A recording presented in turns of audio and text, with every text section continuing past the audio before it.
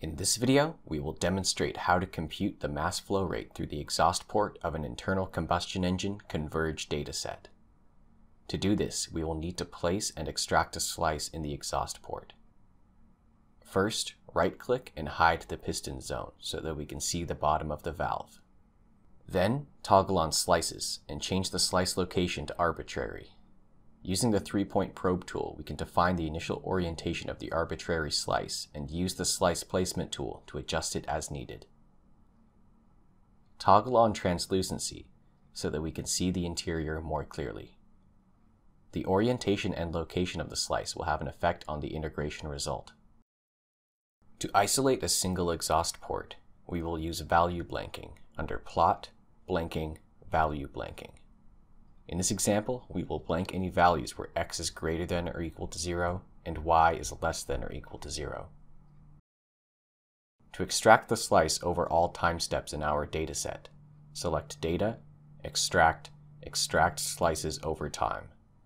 This will prompt Tecplot 360 to automatically step through each time step and extract the slice to a new zone at each time step. Slice extraction requires loading of data at each time step.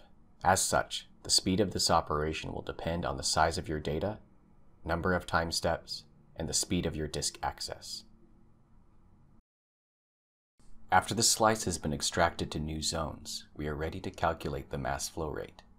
First, under Analyze Fluid Properties, we need to specify the gas constant for air at 287 joules per kilogram Kelvin. Then, we need to define our convective and state variables under Analyze field variables.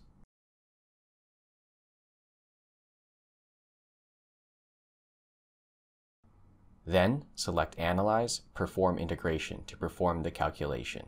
Change the type of integration to mass flow rate, and the domain of integration to integrate by time strands for the last time strand in our dataset, which is for the recently extracted slices. For a line plot to be generated for the results, toggle on Plot Results As.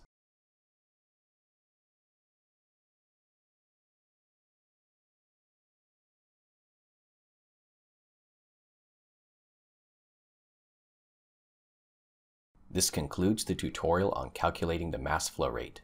Thank you for watching.